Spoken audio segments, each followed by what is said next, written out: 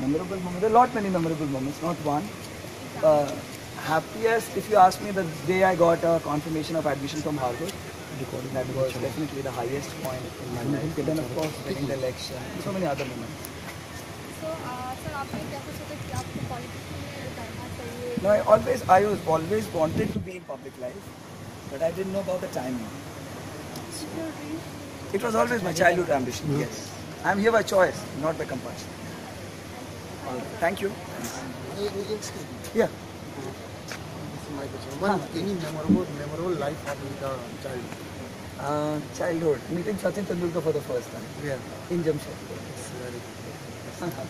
और कुछ बताना चाहेंगे बच्चों को Yeah, I mean, believe in yourself, whatever you want to do in life. Don't go by what others have to say. If you know your own, own strength, then always play by that. Believe in God, respect your elders, teachers, and follow your dreams and be happy. That's the most important thing. If you're not happy, whatever you do, whatever you achieve, it is of no use. So, ultimate ambition, ultimate objective is happiness. So, always find your own happiness, your own definition of happiness. You'll accept.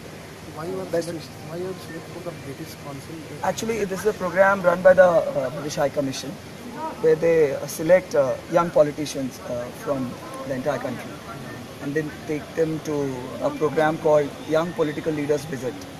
They organize it. The, yeah, I'm the only one uh, from Jharkhand. Yes, but uh, they do it annually every year.